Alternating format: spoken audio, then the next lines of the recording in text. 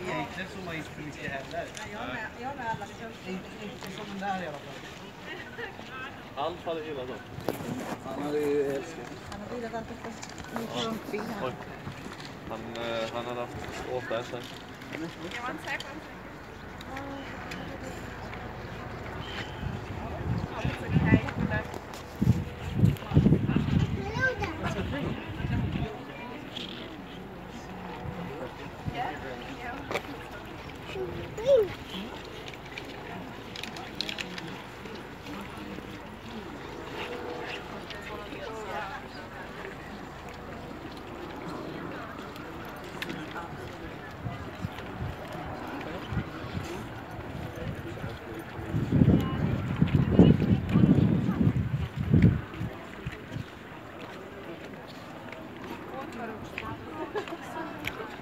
Вот такие колонны.